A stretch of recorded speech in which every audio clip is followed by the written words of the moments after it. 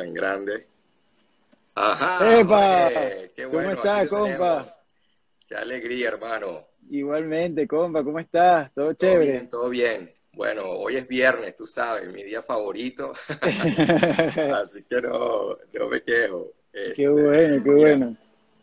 muchas gracias. Quiero, quiero empezar por darte las gracias que haya tenido el detalle de que nos ah, reunamos hoy. Así que hoy pues eh, vamos a tener la, la oportunidad de conversar contigo y conocer un poco más sobre tu vida. Me ha escrito, eh, bueno, una de las alegrías más grandes es que desde que anunciamos pues puse el banner de que íbamos a estar contigo, pues mucha gente me ha escrito para, para contarme pues eh, cómo se sienten con respecto a ti. Muchos de ellos venezolanos que quieren expresar lo orgulloso que están de ti, que cómo se siente, cómo tú lo estás representando en todo el mundo. Así que, pues, qué, qué alegría tener invitados ah, como tú. Entonces, fíjate, eh, ya está empezando a conectarse la gente y poco a poco tendremos más y más personas aquí con nosotros y obviamente la gente que nos está viendo a través del, del diferido hoy. ¿Y por qué no empezamos un poco y nos cuentas ah, un poquito de, de ti? ¿Quién es Jorge Glenn rápidamente? ¿Qué es lo que estás haciendo? ¿Dónde estás? ¿De dónde vienes? ¿Dónde estás? Antes que empecemos entonces con nuestro programa de hoy. Bueno, este, yo, yo soy de, de Cumaná, del estado Sucre. Eh, de allá es toda mi familia, aunque algo que, que no sabe mucha gente, mi mamá estudiaba en Barquisimeto, estudió en Ajá. Barquisimeto y yo nací en Barquisimeto. Oh, Este, sí, eso es fíjate. una sorpresa que casi, casi nadie sabe, pero, pero realmente, claro, como a lo que a un año, cuando tenía un año, quizás menos, no sé, este, ya mi mamá se regresó a Cumaná y toda la vida vive en Cumaná y todo, toda mi familia está allá, todos mis amigos, entonces eh, ha sido bien chévere porque, porque he conocido una ciudad preciosa, llena de historia, llena de gente buena, que, que bueno, que me genera muchísima nostalgia a, diario porque ahora estoy afuera. Eh, toco el, el cuatro principalmente, que ha sido mi instrumento desde que estoy, desde que estoy pequeñito. Es más, yo creo por ahí hay una foto que no la he rescatado, pero la vi hace poco, en donde estoy en un mecedor como de, el mecedor de, mi abuelo cuando tenía como, no sé, como dos años con cuatro en la mano ya y, y siempre he tocado cuatro, siempre me ha encantado eh, este instrumento y siempre lo he tomado como, como un hobby, como algo para divertirse, para los fines de semana cantar y disfrutar con la familia y con los amigos. Y resulta que me ha dado eh, muchas, muchas buenas eh, sorpresas, muchas buenas historias, muchas experiencias bonitas porque, porque me di cuenta de que con un instrumento que es de nosotros, tradicional, que, que está guindado en, en- en casi todas las casas de, de- de Venezuela, eh, de alguna manera con ese instrumento sí se pueden hacer cosas internacionalmente, puede ser un instrumento que esté a la altura de otros instrumentos como el piano y como el violín, como otros instrumentos más.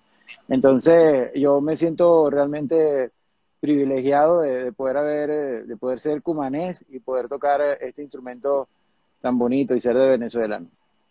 Oye, qué, qué bonito. Muchas gracias, Jorge, de verdad, por tomar. Sé que muchos de nosotros nos pusieron con un instrumento a que lo aprendiéramos y nosotros no, Sí. muchos no lo aprendimos. Así que tú, tú eras más disciplinado ahí que nosotros. Pero mira, quiero, aquí están varias personas que nos están saludando. Aquí, entonces, mira, está Jorge Luis Buendía, el amigo Jorge Luis Buendía, que está haciendo poemas cantados desde allá de Cumaná. Un saludo a Jorge Luis. Abrazo, mi compadrito, buen día. Un Ajá, abrazo. mira, mi tío Omar Moreno nos está saludando desde Costa Rica. Nildred Fayad desde Miami. Eh, prima, un abrazo. Ajá, tenemos a Aide Gómez desde Cumaná eh, saludándonos, Tortas Mari, ah, mira, imagínate, aquí está eh, María Ángel, ah, Juan, está Juan Fernández de Finance Venezuela, qué lindo, este, La Balandra Restaurante desde Cumaná saludándonos.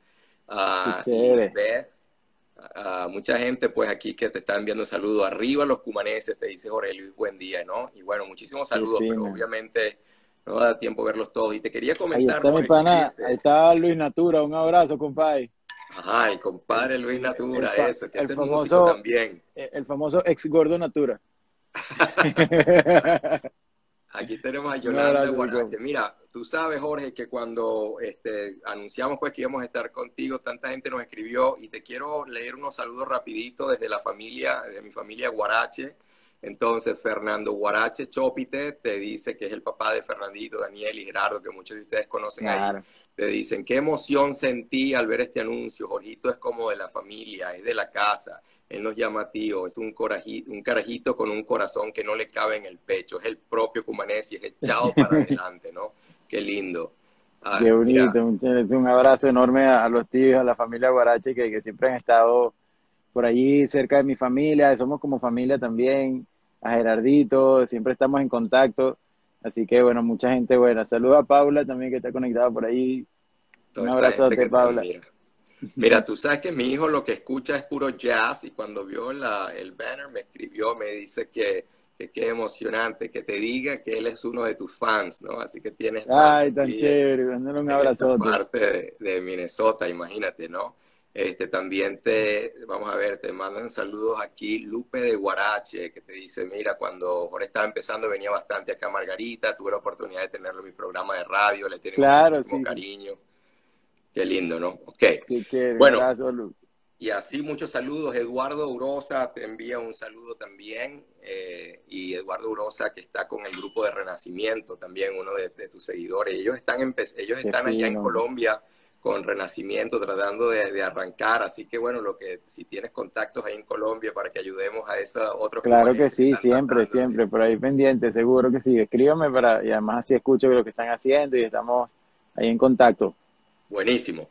Ok, entonces a lo que vinimos hoy, fíjense, eh, nosotros, eh, yo acá estoy, eh, para los que no me conocen, yo soy Luis Moreno, nosotros, yo estoy aquí en los Estados Unidos, soy un venezolano, un cumanés también que viene a los Estados Unidos hace muchísimos años, y lo que estoy haciendo ahora es que trabajo en la parte de entrenamiento hacia liderazgo, yo trabajo con compañías y organizaciones donde yo entreno a su personal en liderazgo basado en lo humano, liderazgo centrado en lo humano y la inteligencia emocional. Entonces lo que quiero hacer esta noche es compartir con ustedes de una manera bastante sencilla lo que es la inteligencia emocional, los cinco componentes más importantes. Y lo que quiero entonces es que hablemos hoy con Jorge Glem sobre la aplicación de la inteligencia emocional en la música. ¿no? Eh, tenemos una pregunta aquí esta noche, si hay algún tipo de conexión entre la inteligencia emocional y la música. Así que qué alegría que tengamos a, Jorge hoy. ¿no? Entonces, fíjense rápidamente la inteligencia emocional, ah, yo sé que muchos de ustedes ah, saben bastante sobre eso, para los que no sepan, es la habilidad que tenemos de poder conocernos a nosotros mismos y entender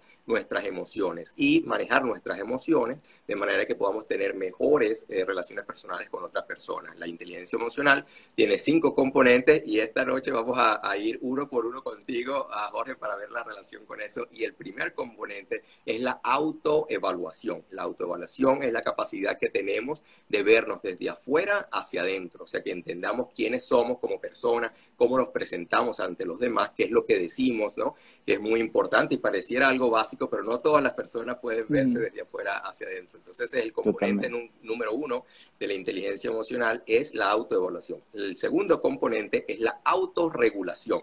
La autorregulación es la habilidad que tenemos que una vez que nosotros entendamos a nosotros mismos y entendamos nuestras emociones, que tengamos la ah, oportunidad y la, capacidad de poder manejar nuestras emociones, ¿no? Es la autorregulación. La tercera eh, es la parte de automotivación. Hay algunos autores, distintos autores eh, tienen términos distintos, pero en general la automotivación, que algunas personas dicen la autogerencia o la autoagencia, es la habilidad que tenemos de motivarnos a nosotros mismos. ustedes pueden ver que las personas más famosas en el mundo no necesitan que otras personas les estén diciendo, mira, tienes que hacer esto, sino que ellos mismos encuentran dentro de sí la energía y la motivación Ah, y, esa, y esa fuerza y esa alegría para poder lograr las cosas, ¿no?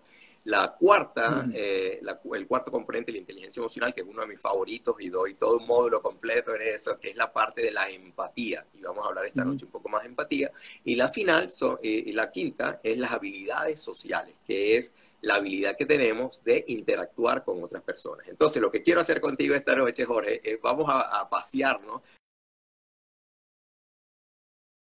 con tu ayuda me hables de tu experiencia en la parte de la música, cuál ha sido, crees que sí influye, no influye, es importante, no es importante, qué es lo que tú has visto. Entonces, vámonos con la número uno, que es la auto, autoconciencia, autoevaluación, vernos a nosotros mismos. Entonces, la primera pregunta para ti, te puedes tomar todo el tiempo que quieras, es, como músico, es importante que tengamos esa autoconciencia, autoevaluación, que nos veamos a nosotros mismos quiénes somos.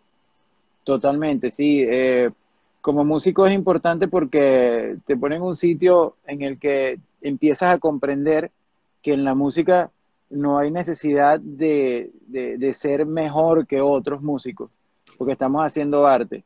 Eh, cuando tú comprendes que lo que estás haciendo no es no es, una, no, no es eh, directamente buscar ser mejor que otro, sino que más bien estás desarrollándote a ti mismo con todas las referencias que tienes, con todas las cosas que haces eh, a diario, con toda la gente que conoces, con todas las acciones que, que tomas. Con todo eso creas la música, eso es lo que te da personalidad. Y esa personalidad es tal cual, o sea, no hay una personalidad mejor que otra, sino que hay personalidades distintas. Eso es lo que, eso es lo que pasa con la música. Entonces creo que la autoevaluación, más que evaluarte para ver qué tan rápido llegas o qué tan, qué tan fuerte tocas algo, creo que es más de conocerse a sí mismo y tratar de que cada nota que uno haga y cada vez que uno se monte en un escenario, lo haga eh, consciente de que lo que uno está haciendo lo está haciendo como una personalidad musical. Eh, eso pasa un poco con la música que uno escucha, con la gente que uno conoce y, con, y como te decía, con las acciones que uno toma a diario. Oye, qué lindo, me encantó eso que dijiste, no hay necesidad de ser mejor que otro, ¿no? Fíjate, cuando tú te conociste a ti mismo a través de la autoevaluación, tú eres una, yo te escogí porque tú eres una persona que tiene un nivel de empatía, un nivel de inteligencia emocional bastante alto. Eh, yo pienso que tú te autoevalúas y, te ves desde afuera hacia adentro ¿Qué, qué, qué aprendiste cuando conociste a Jorge Glem? ¿Quién es Jorge Glem desde afuera hacia adentro? Bueno, eh, hay, hay muchas etapas eh, en las que uno, una cuando uno justamente está en ese, en ese proceso en el que tú ves que otros tocan cosas más difíciles de lo que tú lo haces, eh, o les suena más limpio, entonces tú dices, bueno, yo tengo que estudiar para que esto me salga perfecto. Entonces, claro, estudias, pero al momento de estar en una tarima, tú nunca este, tratas de hacer todo perfecto porque pierdes esa empatía contigo mismo. O sea, estás, estás tocando un instrumento cuando la música es al contrario, el instrumento es el que te toma a ti como, como, como, parte de él. Entonces uno, uno se debe dejar llevar por la música y no pensar que uno tiene la música agarrada este, con, la, con, con un lazo, ¿sabes? Entonces, eh, al principio es un poco eso, es, vamos a tocar, bueno, vamos a quien toca más rápido esto, vamos a quien hace esto de esta forma. Pero cuando empiezas a comprender que la música es una cuestión más de conexión de sentidos, yo eh, particularmente, yo, yo, yo diría, yo creo, yo creo en Dios, este, y, y, soy de alguna forma, bueno, soy, católico, bueno, lo que, eh, que, como, como siempre lo hemos sido, pero es que yo siento que particularmente como yo no he visto, yo no he visto a Dios y yo, y yo creo en Dios y todo, pero, pero yo sé que es una energía que va por encima de mí y que, y que, y que a diario trato de que, de, de, rendirle respeto, de, ser responsable con esa energía.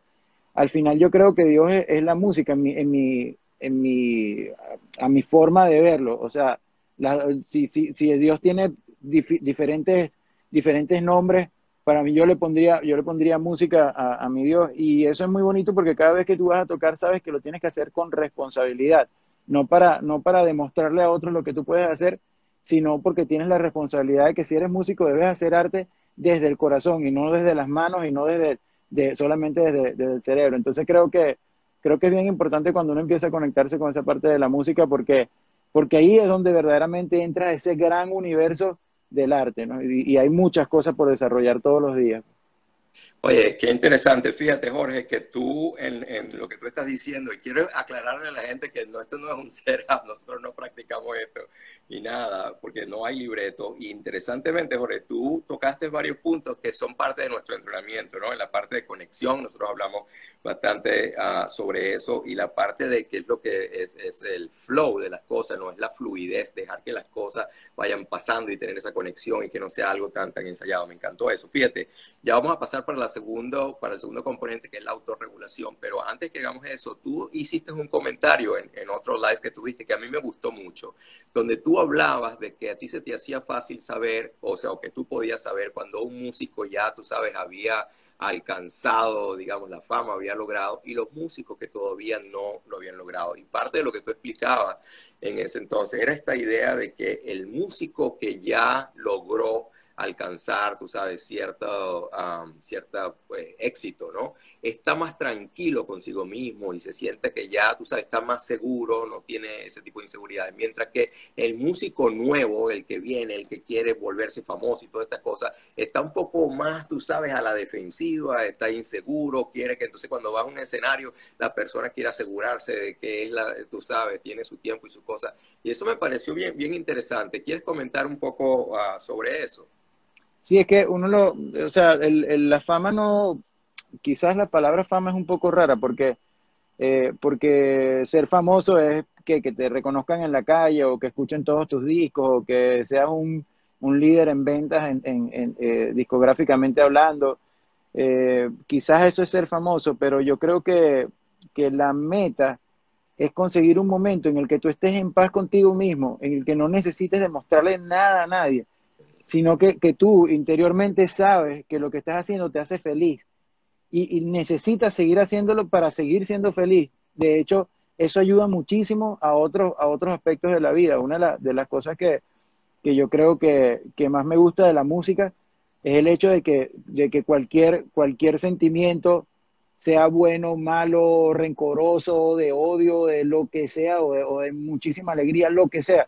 Yo, yo, en mi caso, yo voy y busco el cuatro y me pongo a tocar. Cuando tengo mucha alegría, me pongo a tocar. Cuando tengo rabia por algo, me pongo a tocar. Cuando tengo tristeza por algo, me pongo a tocar. Y eso al final siento que se transforma en energía. Se me quita a mí un poco, bajo un poco lo, eso, esos niveles y, y, eso se transforma en una energía bonita que a otros les llega de otra manera. No les llega con rabia, no les llega con, con nada. Entonces, eh, siento que es una manera muy, muy chévere de, conectarse con uno, de saber que, en la música uno consigue muchísimas respuestas que no, que no consigue teniendo una acción con ese, con ese sentimiento que uno tiene, porque todos nosotros tenemos sentimientos de rabia en algún momento, de, cualquier tipo de, bueno, de, estos sentimientos distintos, ¿no? Entonces, es, es, chévere saber por dónde canalizarlos y por eso yo le agradezco tanto a la música a diario de que me tenga, de, o sea, yo me siento que soy demasiado privilegiado porque no mucha gente tiene un, canal en donde, en donde, o sea, uno tiene un sitio en donde canalizar todas esas cosas que, que siente, ¿no? Fíjate, Jorge, de verdad, o sea, yo te voy a invitar a que vengas a dar el entrenamiento conmigo, porque hablando de muchas de las cosas que hablamos realmente en nuestras sesiones. Fíjate, hablaste del agradecimiento y la generosidad, y voy a volver y vamos a hablar de eso un poco. Fíjate que interesantemente ya tú empezaste a hablar del componente que te quería hablar, que era la autorregulación, ¿no? Y la autorregulación, me, encanta lo que tú dices, que cuando, cuando tú puedes incluso eh, detectar que estás sobrecargado de una, de una energía negativa, digamos, de rabia, tú puedes controlar eso y bajarlo eh, a través de, o sea, drenarlo a través de la música, ¿no? Y fíjate que aquí tenemos a mi tío Omar que te está escribiendo desde eh, Costa Rica y te dice, la música es uno de los detonantes emocionales de mayor impacto. Para bien y para mal es indispensable el desarrollo de la inteligencia emocional tanto del artista como de sus fans. Entonces me encanta, fíjate que, que, mi tío Omar, que es un experto también en inteligencia emocional, nosotros hacemos mucho trabajo y entrenamiento juntos, eh, él eh, habla sobre la idea de poder drenar, la, o sea, las personas que están bravas, una persona brava realmente es una persona que está sobrecargada de energía negativa y necesita drenarlo y muchas personas no saben cómo drenarlo. Entonces nosotros hablábamos de cómo drenar la energía negativa a través de la naturaleza. Puede ser yo, por ejemplo, cuando si estoy preocupado, angustiado o algo, yo me pongo a lavar los platos porque en lo que mis manos tocan el agua, entonces el agua en mis manos me calma y algunas personas eh, se quitan los zapatos y las medias y caminan sobre la grama descalzo y a través de ese contacto con la naturaleza hay un drenaje del exceso de energía negativa. Y en tu caso, me parece fascinante que tú puedas drenar esa energía a través de otra cosa tan natural como la música. Así que yo pienso que ya respondiste ese segundo componente y movernos entonces al tercero. Fíjate, el tercer componente es la automotivación. La automotivación es esa gasolina, ese gasoil, esa cosa que tenemos desde adentro que nos mueve, que nos lleva a hacer las cosas, que no nos hace que no necesitemos de nadie para que logremos lo que logramos. Y fíjate que en tu caso, y quiero felicitarte, Jorge, porque eh, te has ganado, pues, eh, en la parte de, de, los Grammy, que es algo tan prestigioso y tú nos has representado muy bien a los venezolanos, ganándote un Grammy, has sido nominado varias veces. Eh, a ti nadie te dijo que, mira, Jorge, tienes que irte a ganar un Grammy, pero tú mismo con tu propio amor, con tu dedicación, con tu trabajo, ¿verdad? Y tu disciplina, eso te llevó a que la, pues, estas organizaciones te reconozcan y te den a tu Grammy y otros reconocimientos, muchos que has tenido. Quiero que me cuentes un poco sobre eso, de dónde te sale esa fuerza, esa motivación, esas ganas de hacer las cosas. Bueno, si supieras que más bien esto, yo, o sea, yo nunca me creo ninguna de las cosas que, que, o sea, las disfruto mucho, pero no, no me las termino de creer, no es algo que, que, que, que, yo sienta como que ya llegué hasta aquí, o sea, esto es una meta, o sea, es una meta ganarme un Grammy, o sea, nunca, nunca de verdad este, estuvo eh, en, en, mi, en, mis, en mis metas, pues en mi, desarrollo como para buscar eso. Lo que sí hacía era, y que es lo que he hecho siempre, es, tocar por disfrutar, eh, gozar lo que estoy haciendo y, y, tratar de hacer las cosas con la mayor calidad que pueda, porque creo que lo que lo hablaba al principio, la responsabilidad que uno tiene cuando es músico es muy alta y es muy grande. Entonces, al principio lo que siempre buscamos es, mira, ¿cómo puedo hacer que lo que yo escucho, por ejemplo, a mí me, a mí me sorprendió mucho cuando llegaron los, los iPods porque llegó muchísima música de todas partes del mundo y todo lo uno lo tenía a la mano y escuchaba música todo el día y empecé como a ver, oye, pero me gusta este, esta, esta armonía del jazz, entonces eso agarraba y con eso rearmonizaba algo del, del joropo oriental, o de repente me gustaba un ritmo africano y lo ponía dentro de un merengue venezolano, entonces empezaba como a recibir música de muchos sitios y lo que me gustaba sobre todo era buscar la manera de, de, poder plasmar todo lo que estaba escuchando, todo lo que estaba recibiendo. Eh, pero, pero lo hacía por, por estar feliz, por ser, por pasarla chévere con la música. Entonces empezaron a llegar estos reconocimientos que lo que te dicen es, o sea, es eso, es un reconocimiento. No es, yo siento que no es un, es un, premio como tal, sino es, es un reconocimiento que te dice, oye, chamo, qué fino lo que estás haciendo, nos gusta y a los miembros de la academia nos gustó lo que hiciste en este disco. O sea, ser un ganador de Grammy no significa que ya llegaste a la meta, no. O sea, eso fue un disco que tú hiciste durante un año. Ahora, ¿cuántos discos más tienes que seguir haciendo para seguir convenciendo o por lo menos seguir diciéndole a la gente, mira, sigo haciendo cosas distintas, te gusta esto, oye, si esto me gustó, no, mira, pero hay, otra, hay otras personas que están haciendo otras cosas distintas. Entonces, ya es una responsabilidad de seguir, de seguir y seguir y seguir año tras año tratando de, hacer cosas que a la gente le guste, que la gente disfrute, pero además que disfrute uno mismo. Entonces, que eh, yo creo, creo que esa, eso, el, Grammy lo que ha hecho es de alguna forma decir, es como un espaldarazo que te dice, mira, vas bien, e, ese es el camino, por ahí va la cosa, sigue inventando, sigue haciendo que por ahí es. Y eso es muy, bien. la Gente está, la gente está de acuerdo contigo, tenemos varios comentarios acá que están llegando. Eh, Armando Luis Fayá te dice, el ser humano es feliz cuando trabaja ejerciendo lo que sabe hacer y lo que le gusta, ¿no? Qué comentario tan lindo.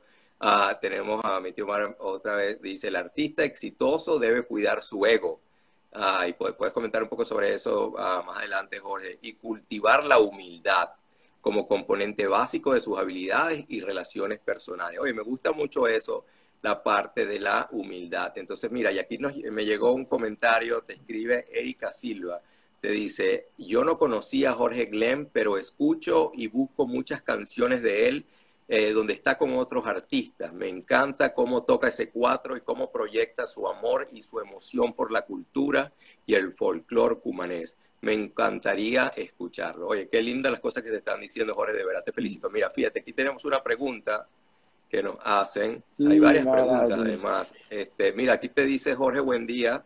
Eh, te manda a decir, no, mi mamá y mi hermana están aquí viéndote y te mandan saludos, nos mandan saludos a los dos. Un Bendición, un saludo, prima. Oye, espero verlas pronto, de verdad que tengo muchísimas ganas de verlas y, compartir como, como la, hace, hace, hace relativamente poco estuve por allá por, por Bogotá y me quedé en casa de, de, de y disfrutamos un montón. Esa es otra familia que yo tengo allá y quiero muchísimo. Qué lindo. Mira, Meuca Marín, la querida Meuca Marín te dice, orgullo cumanés de pura cepa, dejando nuestra bella Venezuela siempre en alto. Muchas gracias. tenemos más comentarios. Mira, te manda a decir Aide Gómez que está muy orgullosa de poder conocer, ah, de que por él eh, se da a conocer nuestra música en otras tierras, que eres un gran músico. Qué lindo. Muchísimas gracias. Ah, y te pregunta Silvana Lúez, te está preguntando, cómo oye música cuando le venía una canción, cómo es que le suena la música. O sea, cómo, cómo, cómo, de qué manera escuchas música, quién oyes, cómo te llega, cómo te sale la música, cómo te suena la música, ¿no? Te pregunta mm, Silvana Luis. Muchas preguntas que con, están llegando. Con respecto a, la, a la música, digamos, a lo que yo escucho, evidentemente mucha música cumanesa, mucha música tradicional de, de, allá de Oriente, mucha música en general de, de, la, de la música tradicional venezolana, Eh, pero me gusta mucho escuchar eh, jazz, me gusta mucho escuchar música clásica, escucho de vez en cuando música brasileña, este, tango música eh, world music, música africana, este, flamenco, de todo. Me gusta escuchar de todo porque creo que más allá de la complejidad rítmica o de, o de la letra de la canción que de repente no, no, no comprendo por algún lenguaje que, que tiene, es es saber que cada una de esas músicas tiene la misma pasión por su raíz que tengo yo por la mía.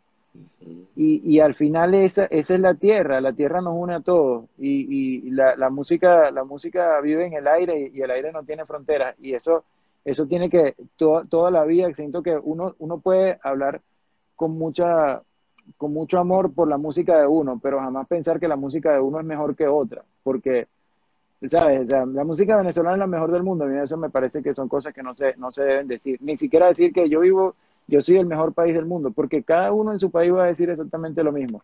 Entonces, eso es lo que yo siento con la música en el momento de, de, de, recibirla. La recibo con muchísimo respeto. Eh, y eso hace que la pueda percibir de una manera distinta y que no tenga miedo tampoco de mezclar todo lo que yo, lo que yo quiera mezclar, porque no estoy mezclando música de países distintos, sino una música de una misma raíz. Eh, entonces, a mí me, me, suena la música un poco como en los discos, me imagino algo, cosas que me pasan cuando estoy tocando solo.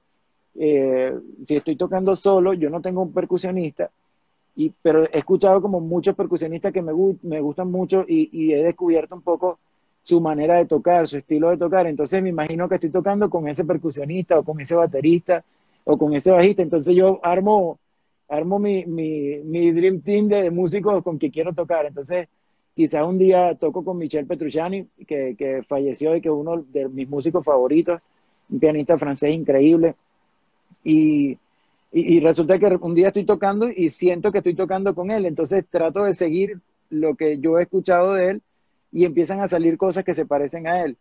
Y eso a mí me gusta mucho. Eh, un día estoy tocando funk y me imagino que estoy tocando, no sé, con Steve Gadd o con, o con Vinny Colaiuta. Entonces son, son estilos distintos de tocar y trato de escuchar eso. Entonces creo que eh, cuando uno escucha música y, se, y realmente se concentra en lo que está escuchando, descubres el, el, el, cariño que le está poniendo ese artista a ese instrumento, entonces empiezas a conseguir muchas personalidades distintas con las que puedes interactuar imaginariamente. Entonces, para mí la música es, es un mundo súper mágico y que, y, que, y, que agradezco tanto, porque hay tantas cosas ahí eh, que no, no, tienes, no tienes no tienes que ir a ningún lado, no tienes que viajar, simplemente viajas dentro de ese mundo y, y las posibilidades son infinitas.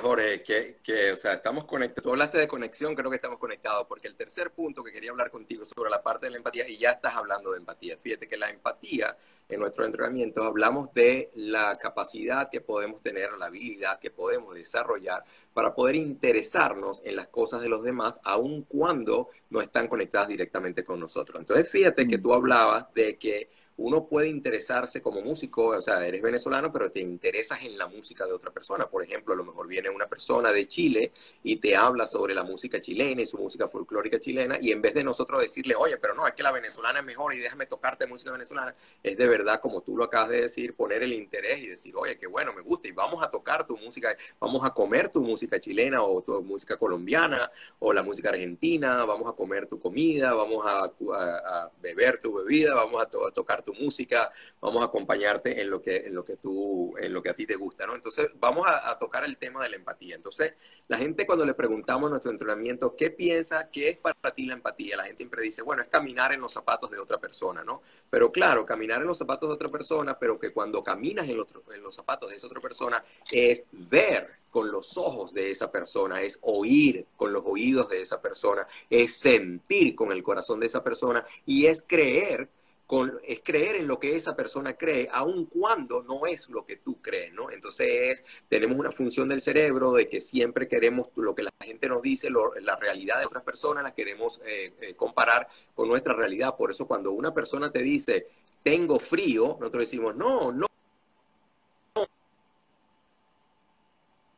No hace frío. Y la persona te dice, no, yo no dije que hace frío, yo dije que yo tengo frío, porque no es lo mismo que haga fermo. Entonces, en ese caso me gusta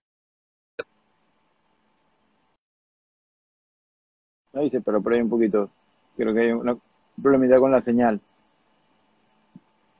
Él es un músico de jazz y él decía que habían, tú sabes, dos tipos de, de músicos de jazz, ¿no? Y hay un tipo de músico de jazz que si tú estás en un grupo con ese músico de jazz y los sábados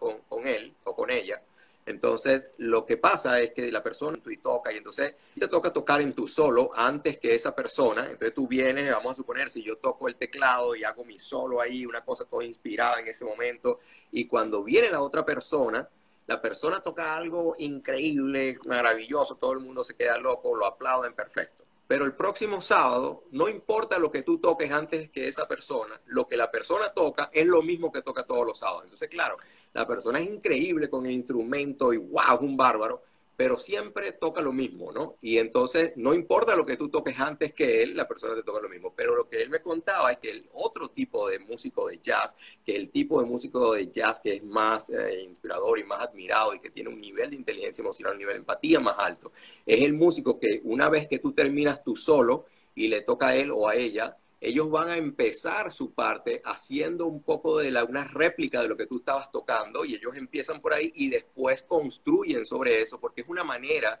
de comunicarte, oye, yo te estaba escuchando, yo te estaba mm. sintiendo y aquí está mi interpretación de lo que tú estabas haciendo, mira cómo yo lo siento y de ahí mira cómo yo voy a construir sobre lo que tú sentiste, que yo también sentí, para que construyamos algo juntos. Entonces, cada sábado que tú tocas con esa persona, lo que la persona toca tiene que ver con lo que tú estabas tocando. Y la importancia de eso es que cuando nosotros hablamos, nosotros tenemos que hablar como tocan los mejores músicos de jazz, que es cuando lo que yo te diga a ti tiene que estar basado en lo que tú me estás diciendo, porque tiene que haber una conexión y que cuando yo te diga algo, yo tengo que escucharte con atención y incorporar en lo que yo te voy a decir lo que tú me estás diciendo. Y ahí es como nos oímos, como nos oímos, nos escuchamos los dos con atención y vamos creando esa conexión que entonces hilamos nuestras ideas y así pues avanzamos juntos. ¿Qué, qué piensas? ¿Tiene sentido eso ahí o qué te parece eso? Sí, totalmente, porque dicen que, que está la pregunta puesta en el, en la, en el sitio, ah, que quedó la pregunta puesta por allí. Vamos a ver. Uy, ah, ok, ok. Déjame ver lo que tengo aquí. Ah, la pregunta me... Oh, Eso, listo, listo. No se quitaba, Meuca, no, no, te no, no, permití, no me permitía quitarte de la pantalla. vamos a leer todo. Tenemos muchos comentarios, te lo vamos a leer, pero quiero oír ahí tu opinión sobre, eso. ¿Te ha pasado eso, algo así? Sí, totalmente. Y, y eh, yo creo que pasa mucho con los ensambles. Mira, hay una de las cosas que yo siento que es la, la, la cuestión del, del, protagonismo, cuando, cuando tú eres capaz de hacer un solo increíble, eh, entonces estás, estás esperando tu momento de hacer el solo, eso está perfecto. Pero entonces, mientras los demás están tocando, tú vas haciendo cosas porque quieres demostrar que eres increíble cuando el solo es de otro. Siento que es lo mismo que pasa en las conversaciones, que es lo que estábamos hablando. Entonces, yo creo que no es lo mismo cuando tú conversas con alguien y de repente le dices, oye, tú sabes, tú sabes de dónde soy yo, de dónde, de dónde eres tú, de Cumaná, claro, Cumaná, si yo fui para allá, mira, yo pasé toda mi infancia en Cumaná, y, y ay, ¿cómo te fue para allá? Bien, yo, yo fui para el Cruzambrón Acosta y yo me acuerdo que en el, cuando estaba en el tercer año, tercer año, si yo el tercer año no, si mi hermana, ¿sabes? Entonces tú dices, hermano, pero me vas a dejar echar el cuento o me estás preguntando por algo. Es exactamente lo mismo que pasa en la música. Entonces, de repente, el pianista es increíble, y hace un solo espectacular y viene el, viene el saxo a hacer un solo y él está todavía echando y haciendo cosas sobre el saxo y el saxofonista como hermano. O sea, yo mientras tú estabas tocando, yo te estaba escuchando y disfrutando lo que estabas haciendo.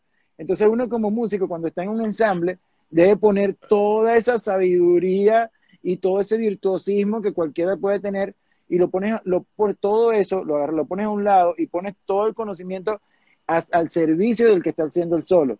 Entonces, cuando de repente estás haciendo, estás haciendo un sonido, te estoy tratando de acompañar y estoy tratando de hacer la base lo mejor que pueda para que tú te sientas cómodo haciendo ese solo. Y es lo mismo que y también cuando ese está haciendo un solo y hace alguna melodía o algo, de repente yo le contesto con, le contesto con un pedacito de la otra melodía para que él también sienta, oye, pero él me está escuchando y sabe lo que estoy haciendo y me está empujando a seguir haciendo cosas. Es exactamente lo mismo en las conversaciones, cuando dice, este, hermano, y, yo resulta que yo fui a Cumaná también como en el año 83. Qué bueno, hermano, ¿y cómo te fue? ¿Sabes?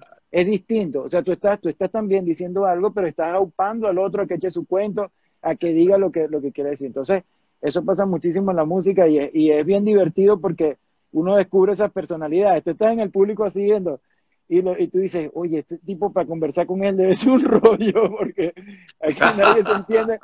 Y, y, y entonces creo, creo, que lo chévere es que cuando los músicos llegan a esos niveles tan altos, el virtuosismo no, nunca es primordial, siempre es secundario, es más, lo puedes dejar de, hasta de cuarto. No es lo rápido que toques, es la empatía y cómo tú te desenvuelves en, en tu comunidad musical en ese momento, cómo hace que los demás también brillen y cómo cuando viene en tu momento puedes brillar tranquilamente sin tener que demostrarle a todo el mundo qué tan, qué tan virtuoso eres. Claro, claro. Oye, fíjate, algunas personas están riendo aquí con tus comentarios. Uno de tus habilidades es el, el humor, y sí, he oído algunos de tus chistes ah, por aquí por allá. Fíjate, vamos a avanzar con la, el componente número cuatro, que es, um, o sea, hablamos primero de la autorregulación, eh, autoconciencia, la autorregulación, hablamos de, de, la, de, la, parte de motivación, empatía el cuarto y la última es habilidades sociales. Así que ya nos vamos a mover a habilidades sociales, pero antes de hacer eso, vamos a leer algunos de los comentarios que te están dejando aquí. Jorge, muchos comentarios, muchos corazones. Eh, vamos a ver eh, quiénes están por acá. Eh, el abogado Marcos Ramírez, Antonio Marcos Ramírez, un abogado latino venezolano que está en la parte de, Minnesota. Muy buena gente, un saludo para Marcos. Aquí tenemos a Claudio Figuera, manda un saludo también. Ah, vamos a ver, Daniel Mendoza. Este, tenemos a, Miss a. Eh, vamos a ver, Kumaragua. Mario uh, Wellness. Ah, Mario G. Mario LG Wellness Life, disculpe si no los estoy leyendo correctamente, te dice, Kumaragua te dice, saludos al compa y paisano Jorge de parte de Ali López. Un abrazo, a mi compadre Ali López, excelente mandolinista. Un abrazo de compa. Ah, Jorge, saludos de Víctor Hugo Márquez y Lourdes. Que Dios te bendiga. Que te bendice siempre. Estamos muy orgullosos de ti. Tan bonito, imagínate. El orgullo de que, yo tengo que conocer a, esos grandes. Eh, yo los admiro y los quiero muchísimo. ¿verdad? Espero que, que pronto nos veamos y podamos compartir y reírnos un montón. Así es. La, la nena, eh, la nena, la nena Riera te dice, conocí a Jorge en un concierto de Nacho Iscaray y allí me enseñó a usar un afinador electrónico. Aún guardo la chuleta, pero ya lo sé usar. Gracias. un abrazo, nena. Qué fino, qué fino. Pero imagino que ya le cambiaste la, la batería. Marieli Camejo como 12 años. Eso me encanta. Conmigo, uh, vamos a ver, conmigo alguien, ah, ah que si conoces a alguien, que dé clases de cuatro en Santiago de Chile. Mm, no estoy seguro, pero si quieres escríbeme al privado, yo voy a tratar de averiguar quién, qué cuatrista está en Chile, a ver si, si te puede dar unas clases, pero buenísimo. Yo estoy dando clases también, pero, pero, ya online, sería, también es chévere eh, las clases presenciales, pues tienen como tienen como más, eh, ese rol y poder tocar juntos es, mejor que las clases este, online, sin embargo las clases online también funcionan. Aquí te dicen felicitaciones, tiene un excelente nivel de empatía, te dice Omar Moreno. A Villas, 16 días, te dice, hola primo. Eh, vale primo, Angelito, un abrazo. Saludos a Maru y a todos por la casa. Saludos a mi compañito desde Guadalajara. Abrazo, ah, Angelito. Y fíjate lo que te dicen aquí, uno de los seres humanos músicos con la humildad que no le cabe en el pecho. Ojalá muchos músicos puedan seguir tu constancia y tu ejemplo. Te quiero, hermano. Te dice Oye, gracias, Vicen. José Vicen, un increíble cantante eh, oriental también que vive en Miami, un gran hermano y somos súper, súper panitas. Y, es más, cada vez que voy a Miami me atiende de mil maravillas, es de uno Además, somos compañeros de jugar truco. Lo único es que no le gusta matar a segundo. Emilio Alfonso Moreno te dice, quiero cachapa, quiero cachapa, quiero cachapa. dice, excelentes líderes. Y aquí te dicen, saludo a Jorge desde Cumaná, esperamos tu regreso y el de muchos músicos para reunirnos y hacer un canto a Cumaná. Un abrazo de Cumana Blues Band. Cumaná Blues Band. Qué fino. Ah, Qué chévere. Un abrazo también. Entonces, entonces tienen, tienen que escuchar el disco de Cumaná Blues Band, que está bien chévere. Eh, bien, bien fino, me gustó muchísimo. Un abrazo a Emilio, que está diciendo quiero cachapa por ahí, ese es por un cuento que tenemos con, con un amigo de nosotros, clarinetista. A Emilio, Emilio es uno de mis grandes hermanos, uno de mis mejores amigos, eh, eh, está en Caracas y bueno, siempre, siempre estamos en comunicación y bueno, espero que, que pronto nos veamos. Buenísimo. Entonces, yo pienso que la pregunta de esta noche era si tú eres una persona con inteligencia emocional y yo creo que por los comentarios que estamos leyendo y los que me han mandado, yo pensaría que a este momento vamos a decir que sí. Y por cierto, uno de los comentarios que llegó fue de Mercedes Betancourt, eh, que es Mecha, desde allá de Cumaná, la mamá de Luisana Madrid y de Arturo. Eh, pues una gente muy querida que te envían pues unos muchos abrazos y comentarios bellísimos de cuánto te, quieren y te aprecian. Ok, entonces nos vamos con la última, el último componente de la inteligencia emocional y después vamos a hacer un resumen de los cinco. Vamos a tener tu, tu closing ahí, ya que estamos como a unos 10 minutos de, de, terminar nuestro programa de hoy. Entonces, el último componente de la inteligencia emocional de los cinco son las habilidades sociales y esto tiene que ver con la, con la habilidad que tenemos, la capacidad que tenemos de poder interactuar con otras personas. Entonces, tú comentabas algo que me gustó mucho, Jorge, cuando hablamos de la parte de la empatía, sobre cuando estamos trabajando en un ensamble, como dice, con otros músicos, y entonces ya pasó mi solo, pero cuando le toca el solo del otro, yo también todavía quiero ahí seguir con mi instrumento y cosas, y no permito no le doy espacio y la oportunidad a la otra persona, pues, que, que, brille, ¿no? Entonces me gustó mucho, me encantó eso que tú comentaste, porque pasa en la vida real. Entonces vamos a trasladar esto a las habilidades sociales y pensando eh, entre los músicos, ¿no?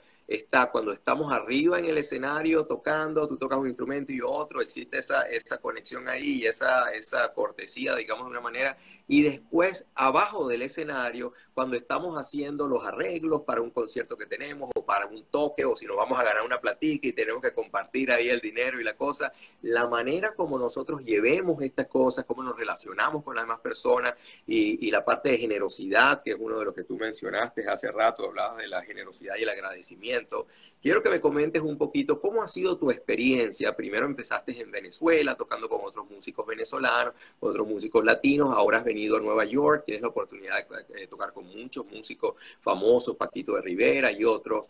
¿Qué ves en esas habilidades sociales? ¿Cómo son los músicos? Hay algunos que son más humanos que otros, todos son iguales. Mm. ¿Importa en, eh, como músico, es importante ser una buena persona o no? Tómate todo el tiempo que tengas, nos quedan como 10 minutos. Sí, mira, yo creo que, creo ni siquiera diría que es importante ser buen músico para, para ser buena, ser buena persona para ser músico. Yo creo que es vital ser buena persona para hacer cualquier cosa que uno haga. Eh, y, y, eso, eso va primero que todo. Y ser buen ciudadano, que a mí me parece que es algo que quizás a veces uno pierde. Uno se concentra mucho en la felicidad individual y no te das cuenta de que por tu felicidad individual muchas veces te llevas por el medio eh, eh, eh, la felicidad de otro y con eso hay que tener mucho cuidado también y, yo siento que, que, uno, uno debe buscar eso, esa felicidad de este, y tratar de estar, de estar bien con uno mismo siempre y cuando eso no afecte este, la felicidad de otro. Eso es lo que más o menos quería comentar. Pero, pero con respecto a eso, he visto muchos músicos, de los músicos que más admiro son los músicos que son, que son personas súper chéveres. Eh, yo he visto, he conocido a músicos que he admirado de toda la vida, porque cuando los escucho en un disco me sorprenden, me sorprende su habilidad de tocar y todo, y cuando los veo en persona salen con unas cosas que yo digo, wow, o sea, esto no tiene nada que ver con lo que está, con lo que yo escuché. O sea, porque creo que la, la, la ser, ser, ser, buena persona tiene que ir de la mano con, la, con, con lo que tú haces musicalmente. Eh, o al contrario, perdón. Eh, también siento que, que, he visto personas como Paquito de Rivera, que es un increíble, un increíble, increíble músico que nosotros lo hemos visto toda la vida, pero además es una persona formidable con la que uno se ríe, disfruta. Yo, por ejemplo, para mí todavía me sorprende muchísimo un día que Paquito me, me, me llama y me dice, Jorito, ¿qué vas a hacer el sábado? Yo estaba con, con, con, con mi esposa en ese momento y, yo le digo, no, no, no tengo, no tengo nada, que, ¿por qué? Oye, que me quiero como una arepa aquí en la casa contigo y vente con tu esposa y Brenda, para que Brenda quiera también aprender a hacer arepa bien y tal, y yo qué. Y llegamos a su casa y, y, mi, y mi, esposa, este, Luisana, que, le mando un abrazote, la quiero muchísimo, eh, se, reunió con Brenda a hacer arepas y tal, y Paquito y yo a tocar merengue y joropo venezolano en el estudio de él. O sea, era una cosa que yo no creía, porque yo decía, este tipo yo lo admiro de toda la vida, este es el genio del Latin Jazz, y tener la posibilidad de, de, de, compartir con él de esa forma, de que me echara los cuentos, sentir la, la eh, como que todo el amor que él tiene por Venezuela, todas las ganas que tiene de volver allá, pero que él dijo que no volvía hasta que, hasta que todo esto terminara. Este, y eso me ha pasado con muchos músicos, vi a, otros músicos, eh, no, o sea, no, a veces no, no vale la pena decir los nombres porque, porque creo que no, o sea, no, no es la idea hablar mal de, de, otras personas, pero a mí me pasó con un músico que admiro muchísimo de la talla de Paquito de Rivera y lo vi en un concierto y me pareció tan pedante, o sea, le dijo al ingeniero de sonido que tú me estás escuchando, o sea, paró una canción y le montó un rollo al, al ingeniero del sonido porque, porque se estaba escuchando un feedback en el monitor. Entonces me parecía como falta de respeto al, al, ingeniero que está haciendo su trabajo y, oye, si no se dio cuenta de algo y tal. Entonces, ya de ahí en adelante, yo dejé de escucharlo. O sea, fue algo como que inmediato y tenía muchos discos de él. Y dejé de escucharlo y, y, lo puse a un lado. Entonces, claro que es importante porque de eso también tiene que ver, o sea, tus seguidores no son seguidores por lo que tú haces musicalmente solamente, sino por quién eres tú.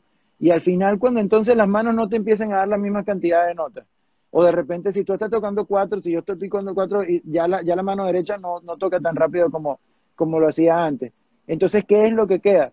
Queda la admiración por, lo que, por quién tú eres. Y, y pase lo que pase, siguen yendo a los conciertos, aunque tú no toques tan rápido como tocabas antes, porque saben que lo que tú estás haciendo lo estás haciendo desde el corazón y con todo el cariño que puedes. Entonces creo que es vital, es vital ser buena persona para ser músico. Oye, Jorge, me gustó, eh, tocaste varios puntos y bien importantes. Uno que tocaste es la parte de la autenticidad, ¿no? Entonces, oímos algo, la música que alguien crea y estamos imaginándonos una persona, pero cuando la conocemos en persona, hay, no hay un match, ¿verdad? En lo que oímos en su música y en lo que es la persona.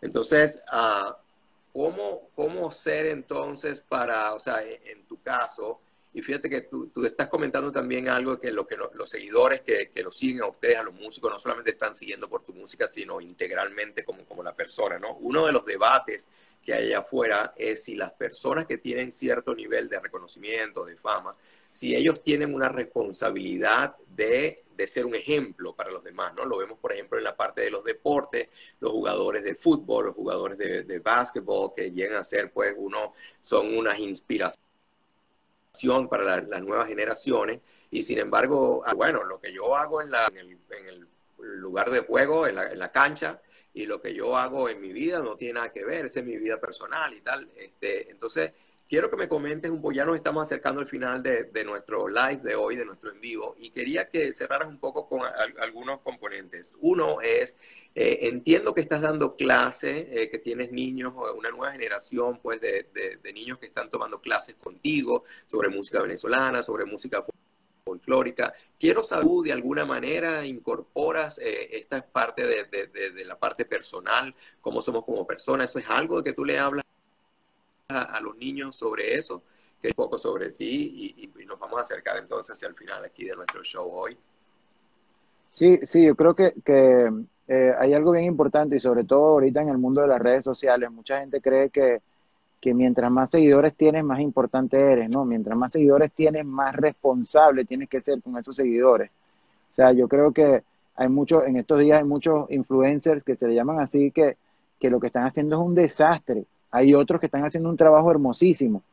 O sea, vean, no sé, a Michael Melamed este, tiene una cantidad de seguidores, pero, pero él, habla cosas súper bonitas y, y, y, te pone como en un momento en que tú dices, oye, me provoca buscarlo y escuchar lo que está haciendo. Hay otros que son una, pero dicen un millón de groserías por cada mil palabras. Eh, eso no me parece que sea, que sea un que se autodenomine influencer o por lo menos no tiene idea de la responsabilidad que es que alguien te siga. Entonces, una sola persona que te siga, tú no sabes si le puedes cambiar la vida o echarle a perder la vida con algo que tú estás haciendo, porque te sigue como ejemplo. Mucha gente, por ejemplo, seguía a Charlie Parker, que es uno de los grandes saxofonistas, y, y, Charlie Parker también utilizaba drogas y había muchos chamos que, que, que, estaban empezando a utilizar drogas porque pensaban que eso era lo que le daba a Charlie Parker la maestría. Entonces, tú no puedes, o sea, no, yo, yo adoro a Charlie Parker y entiendo que eso era una enfermedad, pero él no, eh, quizás no fue responsable en hacerle entender que, eh, muchachos, mira, yo hago esto, esto es un vicio, esto es una locura, pero no lo hagan, por favor no se metan en este rollo, esto no tiene nada que ver con la música, o sea, es, yo creo que uno tiene que ser muy responsable con la gente que uno lo sigue. Entonces, sobre todo con los chamos, por supuesto que cuando estoy dando una, una, una clase o estoy hablando, estoy haciendo un taller en alguna universidad o en algún colegio, para mí es primordial decirle a ellos la importancia que tiene la música en uno como ser humano y que la música, como decía desde el principio, la música no es ningún tipo de competencia. Yo no, yo no quiero que en una clase nadie me demuestre que pueda hacer más que otro. Yo quiero que, la, que el que vaya a hacer algo me demuestre que lo está haciendo de corazón. Y eso para mí es realmente lo que vale. Cada uno tiene, una, tiene una, un sentimiento distinto, una historia distinta, una cantidad de música distinta que escucha y eso se respeta ese, ese individuo tal cual como es y tal cual como siente.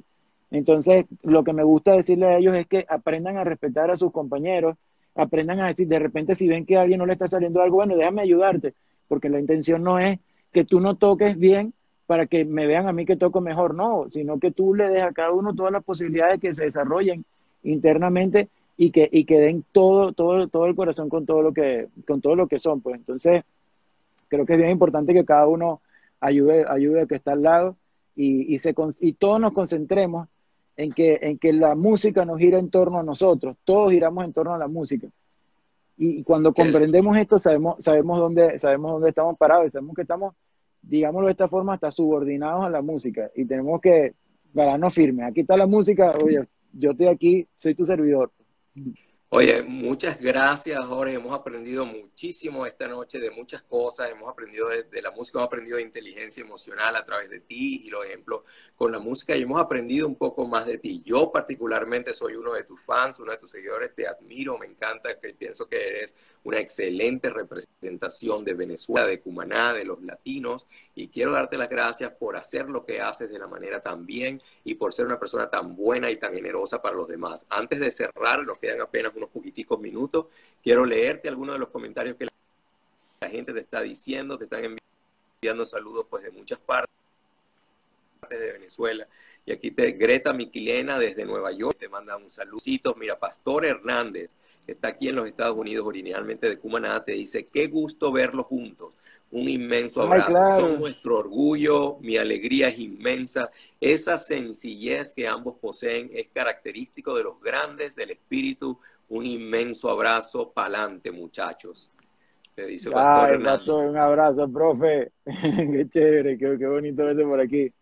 Armando Luis Fallá te dice, la música guarda relación directa con los sentimientos y las relaciones humanas y Omar Moreno te dice, la habilidad artística merma y muere. La habilidad humana se mantiene por siempre para nuestro orgullo y nuestra satisfacción. Y de Matatosi, de Matatosi, perdón, te manda saludos desde Caracas y Jorge Luis Buendía dice, grandes los dos, grandes de Cumaná y Antonio Pichardo te dice buenas tardes, saludos desde México con raíz de Venezuela. Entonces, ha sido una gran alegría, un gran placer, Jorge. Sigue adelante con la música, que Dios te bendiga. Estamos muy orgullosos de ti, orgullosísimos de ti. Y dinos tus últimas palabras entonces para que se nos acabe este live de hoy. Bueno, sabes que una de las cosas que más me gusta y aquí de repente una de que, que, me siento feliz por, por ser como soy, este, es el hecho de que mi papá me dice, por ejemplo, que que él se siente más orgulloso de mí cuando alguien le dice, oye, tu hijo sí es buena persona, me encanta compartir con él, si es buena, es buena gente, tiene buen espíritu. Me dice que eso lo llena muchísimo más que cuando dicen, tu, tu hijo es un virtuoso del cuatro, tu hijo toca muchísimo. Entonces, eso me, me hizo entender que, que, yo tengo que seguir siendo eh, quien soy, seguir rindiéndole tributo a eso que me ha enseñado mi padre eh, para hacerlo sentir orgulloso de, de, de, lo que soy como persona y no lo que soy como, como, como músico, como artista. Y yo creo que eso es lo mismo que tenemos que, que, enseñarle a todo el mundo, que primordialmente uno tiene que ser, tiene que ser un ser humano íntegro, ayudar, ser generoso, ser bueno, ser empático y después lo que sea profesionalmente. Eso, eso, va, eso va en segundo plano. Muchas gracias, muy lindo Jorge, qué, qué, qué, alegría todo ese amor que llevas en tu corazón. Que Dios te bendiga siempre y arriba Venezuela. Un abrazo. Amén. Un placer Cuídate Luis, gracias. Saludos. a todos.